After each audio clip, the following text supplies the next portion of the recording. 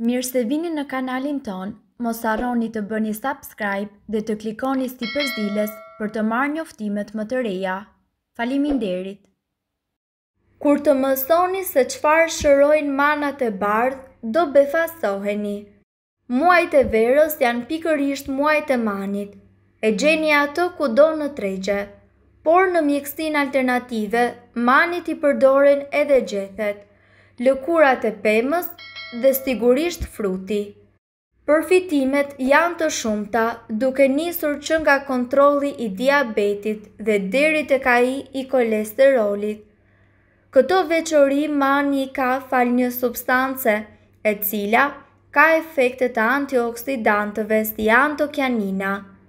Në mjekësinë bimore, mani i bardhë përdoret për të trajtuar këto probleme apo shqetësime shëndetësore, ankthi, artriti, kapsllëku, kolla, tensioni i lartë, kolesteroli i lartë, diabeti dhe sistemi imunitar, Studime të shumta vëzhguan se konsumimi i manit të bardhë në formën e frutit arrinte të ulte nivelin e sheqerit në gjak, pasi përmes enzimave që gjenden te ky frut, organizmi nuk përthith niseshten që gjendet apo përdoret për përgatitjen e disa ushqimeve. Ndërkohë, për sa i përket kolesterolit, nëse konsumohet mani i bardhë për një periudhë katër deri në tetë javë, do të vihet re një ulje e kolesterolit dhe e triglicerideve në gjak. Manat e bardhë janë një bekim që nga lashtësia. Manat e bardhë kanë shumë përfitime në shëndet dhe kanë pak efekte anësore. Në kohët e lashta përdorimet e saj primare ishin të trajtonin sëmundje të ndryshme. Ky frut përmban shumë përbërje unike aktive dhe flavonoide me një gamë të gjerë përfitimesh. Me gjethe dhe rrënjë të manit të bardhë ju mund të përgatitni një çaj. Manat e tij hahen tërësisht ose kthehen në verë ose raki. Manat e bardhë janë frut i shëndetit, trajton diabetin, ju bën të humbisni peshë dhe shumë më tepër. Ai përmban shumë polifenole natyrorë dhe flavonoide që kanë antioksidues, antiinflamator, antitumor, antibakterial dhe antiplakje. Gjethet përmbajnë më shumë përbërje fenoli dhe flavonoide. Përmban antioksidantë të ndryshëm të nevojshëm për të trajtuar inflamacionin, ethe, dhimbje koke, diarre dhe kollë. Rrit sistemin tuaj imunitar. Frutat e manit kanë komponime që rrisin aktivitetin e mikrofagave dhe përmirësojnë përgjigjet imune. Ky frut është i pasur me acide organike, vitamina, fibra dhe beta-karoten. Këto janë sëmundjet që shërojnë manat e bardhë. Mani më shumë njihet për frutin e tij me shije të veçantë dhe që është tani kudo nëpër tregje. Por në mjekësinë alternative manit i përdoren edhe gjethet. Diabeti Shumë studime vëzhguan se konsumimi i manit të bardhë në formën e frutit arrinte të ulte nivelin e sheqerit në gjak. pasi përmes enzimave të cilat gjenden te ky frut, organizmi nuk përthith një sështen që gjendet apo përdoret për përgatitjen e disa ushqimeve. Kolesteroli Ndërkohë për sa i përket kolesterolit, nëse konsumohet mani i bardhë për një periudhë nga katër deri në tetë javë, Do të vihet re një ulje e kolesterolit dhe e triglicerideve në gjak. Edhe pse ky frut është bimor, efektet e tejkalimit të dozës së rekomanduar janë të shumta. Duke nisur nga diarreja, marramendja, kapsëllëku apo edhe fryerja e stomakut dhe zorrëve. Prandaj këshillohet që kur të nisni t'i konsumoni, Të keni kujdes mënyrën se si do të reagojë trupi juaj. Për personat të cilët marrin medikamente për trajtimin apo kurimin e diabetit, është e këshillueshme që të mos konsumohet ky frut. Si gjithmonë këshillohuni me mjekun tuaj përpara se të merrni çdo vendim. Kush mund ta zëvendësojë manin e bardhë në dietën tuaj? Të njëjtën substancë që përmendëm e gjeni edhe tek qershitë, manaferrat dhe thanat. Mbroni shëndetin me lëngun e gjetheve të manave. Lëngu i gjetheve të manave është një thesar shijesh dhe vlerash që përftohet nga gjethat e manave. Kjo bimë e rëndësishme rritet me bollëk në Shqipëri, por edhe në shumë vende të tjera të botës.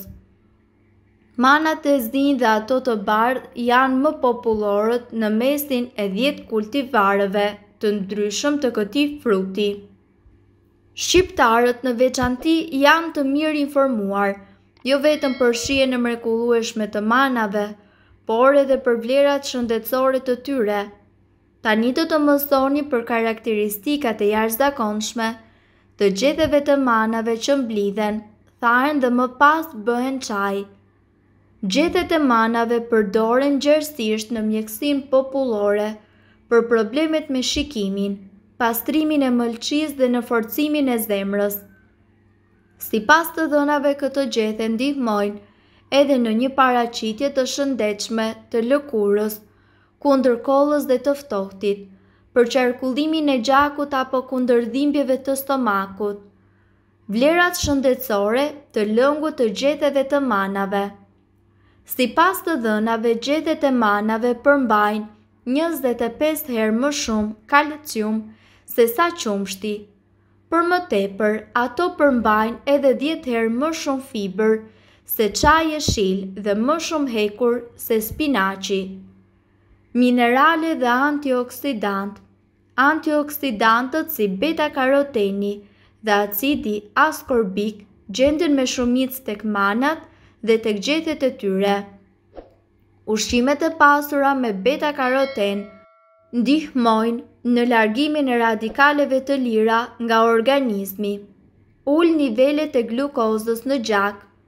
Studimet në lidhje me diabetin kanë arritur në konkluzionin se niveli i glukozës në gjakun e pacientëve që pinin ekstrakt të manave ulej ndjeshëm në dy orët e para pas pirjes së këtij ekstrakti. Ul kolesterolin e keq. Çaji i gjetheve të manave ndihmon në uljen e triglicerideve dhe të kolesterolit të keq, rrjedhimisht duke i ardhur zemrës në ndihmë.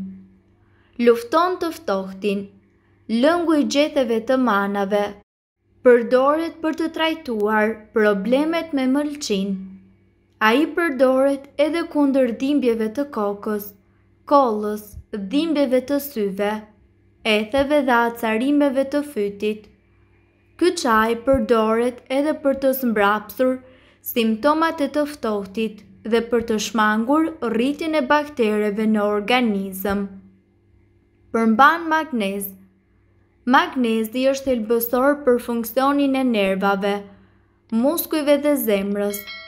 Ai rrit energjinë e metabolizmit, forcon kockat, ndihmon sistemin imunitar, mban nën kontroll nivelet e sheqernave në gjak dhe ruan tensionin e gjakut në nivele normale.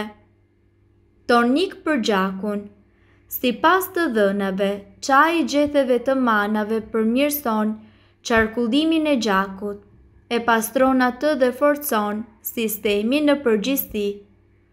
Ky lëng qetëson nervat dhe pasuron gjakun. Ai pastron mëlçinë dhe forcon veshkat. Si të përgatitisni lëngun e gjetheve të manave? Zieni dyqind e pesëdhjetë mililitër ujë dhe më pas hidhni një lugë çaji me gjethe të thata manash. Zieni së bashku për dy deri në pesë minuta, kullojeni dhe shtoni ëmbëlsuesin e preferuar. Mirëpo para se të provoni këto receta të mjekësisë alternative, ne ju sugjerojmë që të këshilloheni më parë me mjekun tuaj. Nëse doni të dëgjoni videot tona që ne postojmë çdo ditë, kliko Subscribe. Ju ftojmë gjithashtu të bëni like në videot tona nëse i keni dëgjuar dhe pëlqyer ato. Faleminderit që e patë videon tonë! Shpërndajeni këtë video në profilin tuaj në mënyrë që të informohen edhe shokët tuaj. Faleminderit!